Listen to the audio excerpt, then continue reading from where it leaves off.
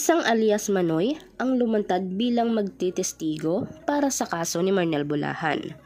Kusa itong lumapit na inuusig ng kanyang konsensya.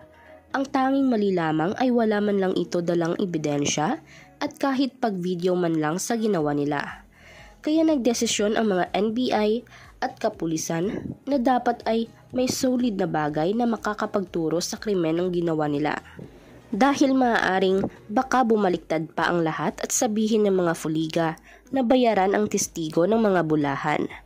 Kaya humihingi ng tulong ang mga bulahan, lalong-lalo na si Nelmar Bulahan na umuusig sa paghahanap kay Marnel Bulahan. Sa kataas-taasan na si Chief PNP Eleazar ay talagang tutulong ito para makamtan ang hustisyang hinihingi ni Marnel. Sinusuyod nito ang bawat sulok ng kapis at pinagmamasdan kung saan maaring inilibing si Marnel.